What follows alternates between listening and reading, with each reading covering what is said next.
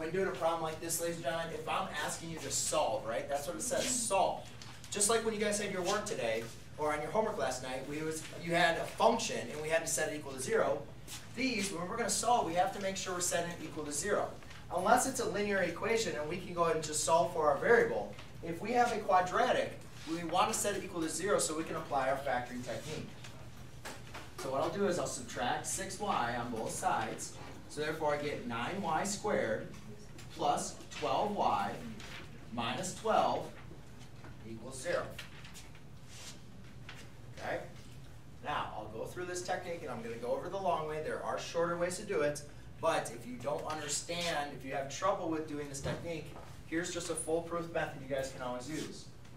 Again, when we have a quadratic in the form of ax squared plus bx plus c, where we have a value of a that other than 1, we do a times c up top and then b on the bottom. You say what two numbers multiply to give me a times c and then add to give me b on the bottom. So I do a times c, 9 times 12. So you can just take a look and say, all right, 9 times negative 12 actually. So you do 8 times 1, 9, 10. So that's 108 our b is going to be at positive twelve. Now, if you don't know what two numbers add to multiply to give you 108 and add to give you 12, then do a factor tree. Right? Either factor tree or just start factoring. You know, what two numbers multiply to give you 108? Just start listing all the factors. All right? You can go divided by 2, divided by 3, divided by 4, divided by 5. I know it takes a lot of work sometimes, but that's some things you have to go through. Yes? Yes, it is. Yes, it is. I'm sorry. I, I forgot to, I talked about it, but I didn't put it up there. Yes, it is a negative 8 because that's a negative 12.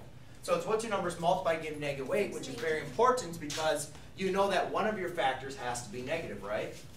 And when we look at this, we figure out that it was going to be um, positive 18 and negative 6. Yes?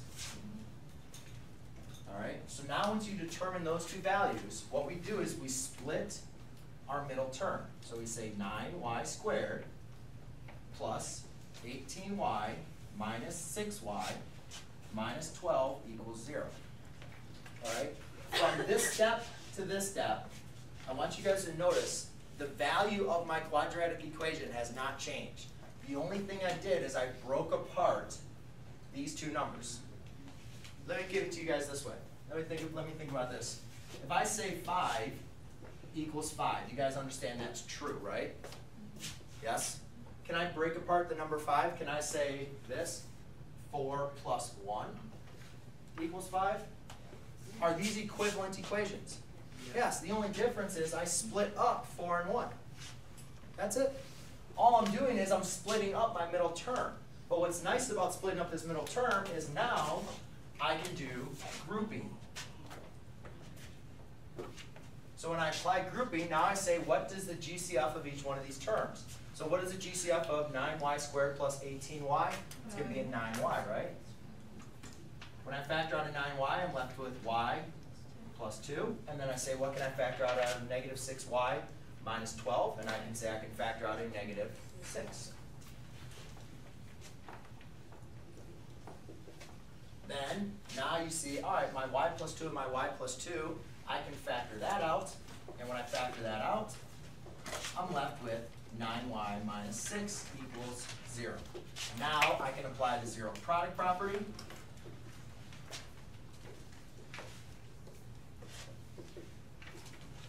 I'm not going to go through the steps. y equals negative 2, add 6, divide by, add 6, divide by 9, so, and then divide by 3, so it's going to be 2, uh, 2 thirds.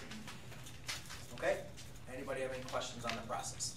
This is the longer process. There is another quicker method, but you need to pretty much master this before we can really start going on to the quicker stuff. And really what's difficult about this, guys, is taking 108 and determining what numbers multiply give you 108, but then add to give you 12. But besides that, it's just following these steps, all right? Um, the next thing I want